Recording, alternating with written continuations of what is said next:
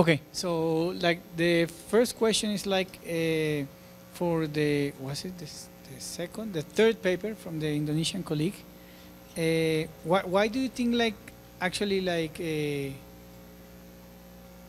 like areas with MPAs have like a lower Gini? Do you have any explanation? Maybe that's correlated with lower uh, income levels or like the nature of communities around the areas that are like more, more like fishermen or, or, or the like. And the question for like the, my Mexican colleague is like, uh, how how do you think is like this relationship with the waste treatment related with the way in, in which states understand the well-being of their citizens and their demands? You know, like being waste treatment something that is, is usually referred as like a middle class or middle upper class concern, and if that is, has something to do with like the graphs that you showed that were really interesting. Thank you.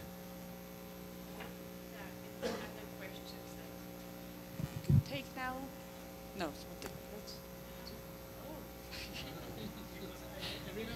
Something of the presentation of, of, of, of Jairo, when, you- when you were showing those graphs of decri- declining Gini, you, you added all the different policies in the simulations at the same time? Or just one at a time? Okay. Well, that's fine.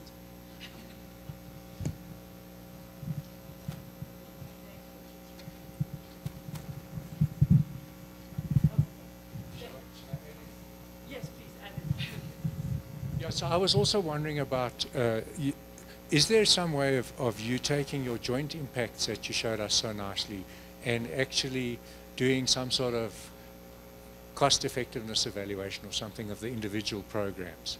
That would be uh, very useful. If, you, if government said, okay, but we can't do all of this stuff, what do you want us to do?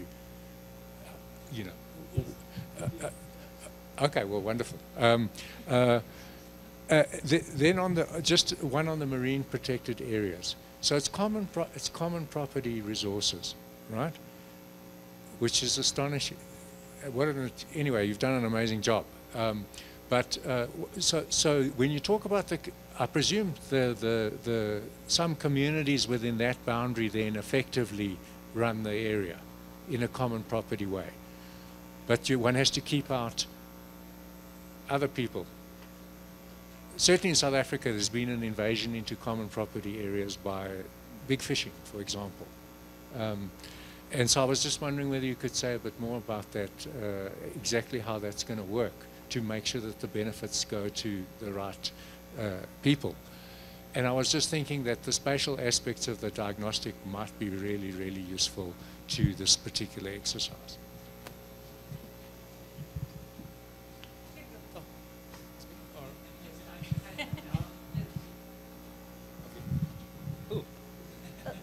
Well, I, I start, and yeah, probably there's a high relationship between where are located these waste management centers because people are more involved or more interested, or probably they have the information. So we need probably to explore more a bit because it's probably this are located. We we took the data from the National Statistic uh, Office, and yes, it requires probably this uh, a deepest.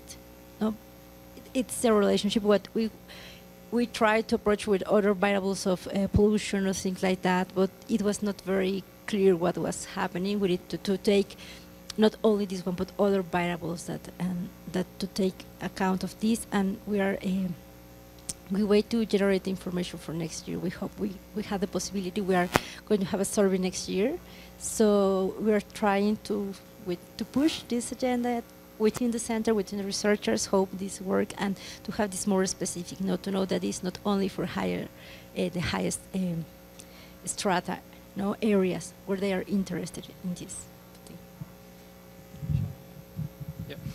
Yeah, uh, we did some uh, discussion with the stakeholders from people who are not only people but also institutions in, uh, who are located in the MPAs. Uh, some programs that the government uh, set uh, in the MPA areas is more like a, uh, empower people in that area. For example, like they create new jobs, green jobs, which also empower women uh, usually fisher uh, people in the, in that area are also only fishermen, but now uh, the wives, the the the the, the female, the the, women, the women in the, in that area can also uh, get into the job market then, and at, uh, as the result, um, the income would increase and the inequality would reduce. Uh, the common we don't really um, find evidence that the government limit the use of the common common property area. Uh, what we found is more like a, uh, like like empowerment of people who are who live in, in who live in, in, in that area. Not not not really like you cannot you cannot fish more than uh, this amount of, of fish. For example, uh, we didn't really we didn't really find um, a case for that, but more like uh, they empower people, they provide more health care, they provide um, um, infrastructure for those people who, who live in, in, in that area. So that's, that's a program that the government had uh, at, that time, at the uh, uh, currently that we have uh, information about it. I hope that an- answer your questions. Uh, um, yes, uh, we did uh, each simulations uh, to see its impact, uh, but I presented uh, all the simulations at the same time. But we don't have enough time to to present. Um, uh, yes, uh, we did a cost-benefit analysis um, of each policy using the Kakwani index, uh, and we have uh, all the results in the paper.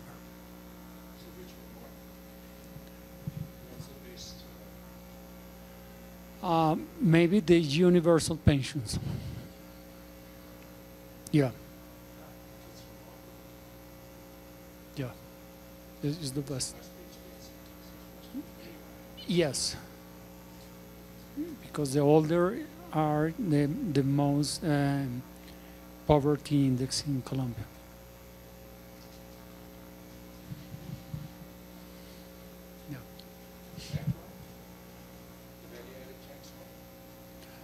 Uh, yes, the, the value added uh, tax uh, is regressive in Colombia.